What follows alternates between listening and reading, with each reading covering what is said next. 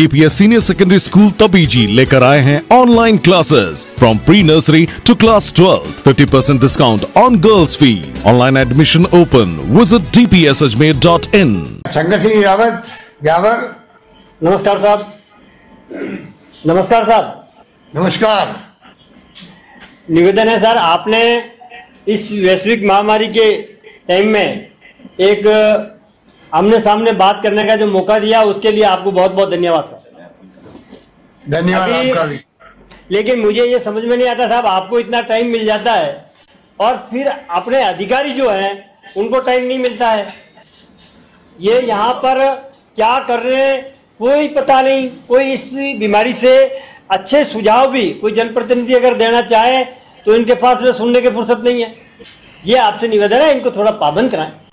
हम कोई गलत सलाह तो नहीं देंगे।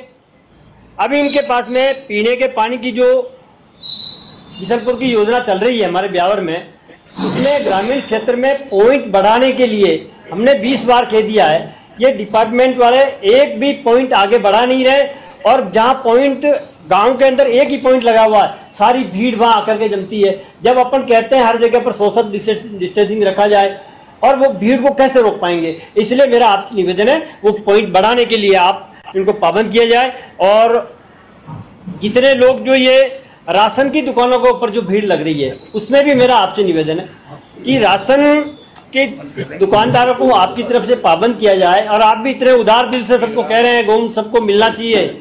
तो ये राशन की दुकान से कोई भी राशन कार्डधारी राशन लेने के लिए आए वो खाली नहीं जाए, उनके मुँह से बदुआ निकलती है। निश्चित इस चार महीने के टाइम में तो कोई भी अपनी दुकान से खाली नहीं जाना चाहिए। ये मेरी आपसे प्रार्थना दूसरा शंकर सिंह जी बात सुनिए शंकर सिंह जी बात सुनिए हाँ। ये बात हमने मेंबर पार्लियामेंट को रिक्वेस्ट की है कि आप जाके भारत सरकार से बात करें। मैंने कल प्रधानमंत्री को रिक्वेस्ट की है कि आपको इसको गेहूँ मांग रहे हर व्यक्ति मांग रहा है। गोदाम भरे पड़े एफ़ के। रबी की फ़सल फिर आ गई है गेहूँ अभी अपन ले रहे लोगों से। किसानों से। कोई कमी गेहूँ की नहीं है। पर भारत सरकार ने जो शुद्ध जो फ़ूड सिक्योरिटी एक्ट बना रखा है खाद्य सुरक्षा कानून उसके अंदर का जो नाम है उतना गेहूँ अपने को मिल नहीं रहा है? वो कहते हैं जो 2011 की जनगणना उसके आधार पर हम गेहूँ देंगे आप देंगे आपको।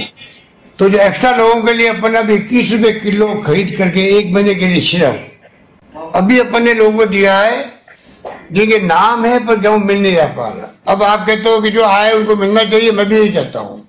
जो जा रहा है साहब इसलिए मैं बता रहा हूँ। संकट की घड़ी में जो राशन मांगना आए चाहे उसके पास राशन कार्ड है या नहीं है तब भी गेहूँ मिल जाए उसको? ये हम लोग कोशिश करें भारत सरकार से। आप लोग भी कोशिश कीजिएगा। आप अध्यक्ष जी को मैं कहूँगा वो भी कोशिश करेंगे। धन्यवाद। हमारा तो आपसे निवेदन है साहब है। आपके जो कहते हैं बार बार खाद्य सुरक्षा में ओटीपी की आवश्यक नहीं है अब। ओटीपी में आधार कार्ड के आधार पर गेहूँ मिल रहा है?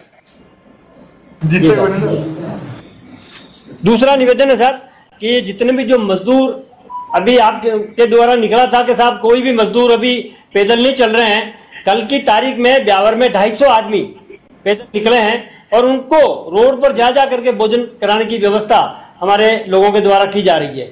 तो इसलिए उनको भी कम से कम या तो परिवहन विभाग के लोगों को कह करके और ट्रकों के अंदर वो बैठ के जाना चाह रहे हैं तो पुलिस उनको रोक रही है।